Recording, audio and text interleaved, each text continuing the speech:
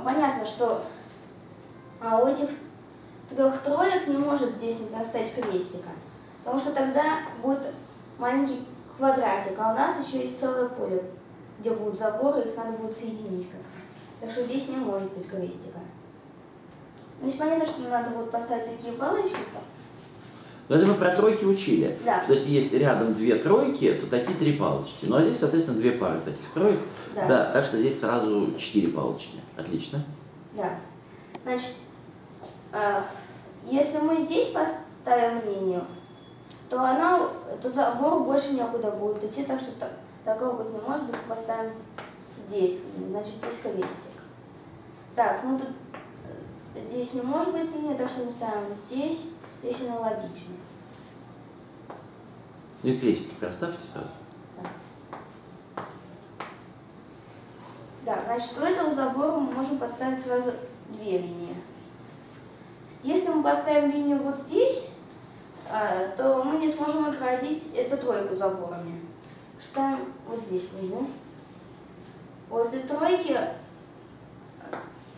она сюда, поставим линию здесь, то ей будет... То уже не выйдет, да, значит вперед. Вниз Так, и... порисовываем выход ей. Линии.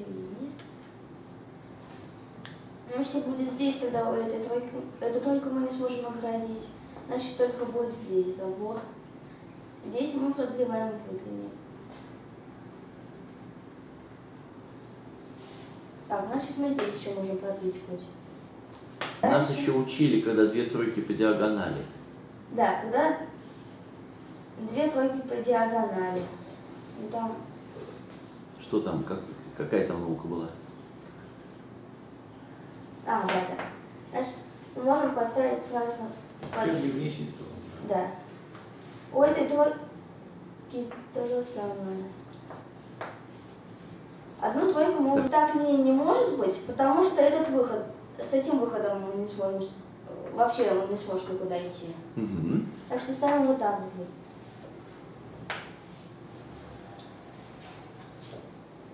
Вот так вот не может стоять забор, потому что ему тоже Никуда некуда идти. будет идти. Так что он стоит вот так, и мы уже можем их соединить.